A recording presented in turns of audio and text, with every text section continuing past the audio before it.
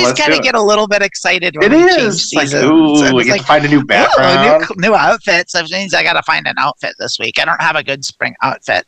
I'm gonna have to find something. I'm gonna have to get. I want. I need some sort of like hippie sundress. Yeah, I have been going through. I go through those phases, and you probably you because I because obviously I changed for the show, but like I'll go through depressive, not really depressive, but you can tell I'm not on my game because I'm wearing like Yeah. the same clothes every day because I work from home. I so- wear the same clothes every day anyway. no, no, no, no, like like like really bad. Like I've got a shirt that it should have been washed a month ago, but Okay, yeah, I know So that. I've been yeah, wearing- okay, that's a little different, but yeah. I've been wearing I've been wearing uh these black and black and red plaid pants with a black and royal blue striped sweater.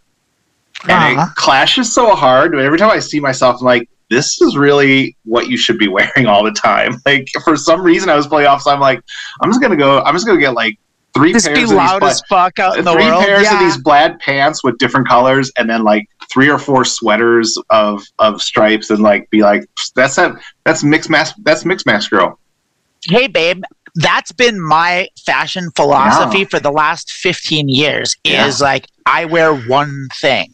I Yeah. have like three outfits that i interchange every season and that's it. And when you see me out in the world i'm wearing the same clothes almost all the time. And it's a it's it's not by mistake and it's not because being poor and it's i mean it's part of it's partly that. It's like but like really it's it's intentional.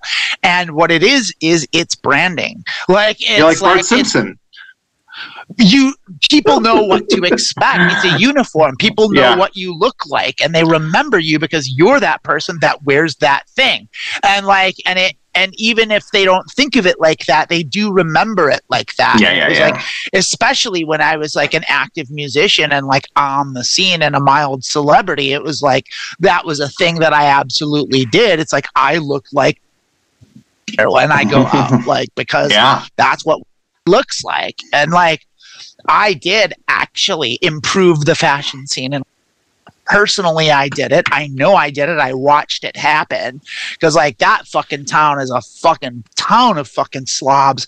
And like i was like "Mm, ain't me. I'm wearing fucking velvet and looking fucking good. And i did. And i started and i did that long enough where Yeah. people started to notice and they started stepping up to their games and then people would start going to the bars like dressing nice and wearing suits and shit. And i was like fuck yeah i did that.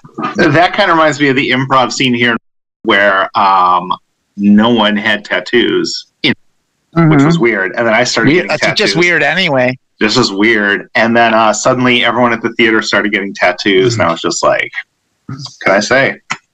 What can i say? And two people transitioned after i did. I i really need to harness the power of my uh my cult of personality or whatever it is.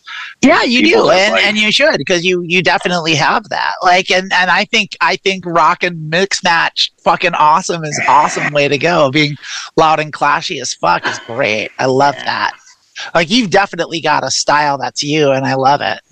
Yeah thank you. I love you Wait, too. what do you want to start? Let's do business